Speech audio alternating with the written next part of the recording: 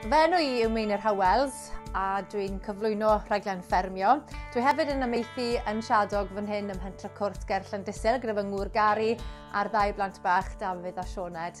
A dwi hefyd yn gyn aelod o Glwb Ffermwyr Ifanc Llanfynydd yn Sir Gaerfyrddin. Nawr, mae fy nyled i heb os na goni bai yn enfawr i fudiad y ffermwyr ifanc am yr holl gyfleoedd a phrofiadau ges i tra bod fi'n aelod. Mae fe yn anodd crisialu mewn ychydig geiriau gymaint mae'r mudiad yn meddwl a gwerth y mudiad.